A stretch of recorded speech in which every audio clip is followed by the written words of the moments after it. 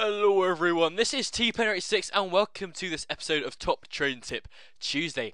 Although, admittedly, it's not actually Tuesday, it's Thursday I'm currently uploading this. Simply because this week I didn't have time because I went away to uh, to the Exeter University on, on Tuesday.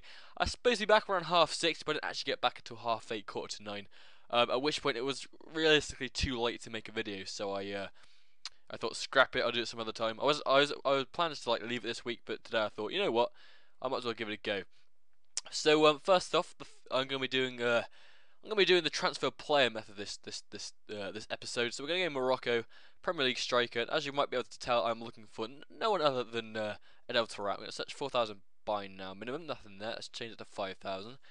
Oh, have a look at that. And there is one there for 5,000. Okay, okay, that's promising. I forgot 5,500. Are there many here? Hopefully not. Only the one, which is promising, very promising indeed. So I'll buy that, although you might be thinking, well, you did, you still got 45 minutes left. Um, but basically, it will take a while for them to sell, but it will definitely sell for, I'll probably put it for 5,500 then, I reckon.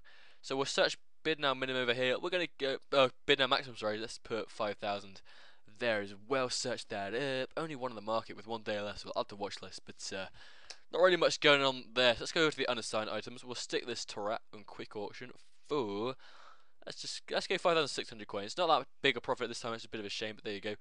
Um, and basically, what you can do with with uh, with this method is you can choose a lot of different players. So you can get your, your Juan Matas, your uh, your Samir Nasri's. I'm just doing the Premier League because, as I always say, that's the league I'm most familiar with.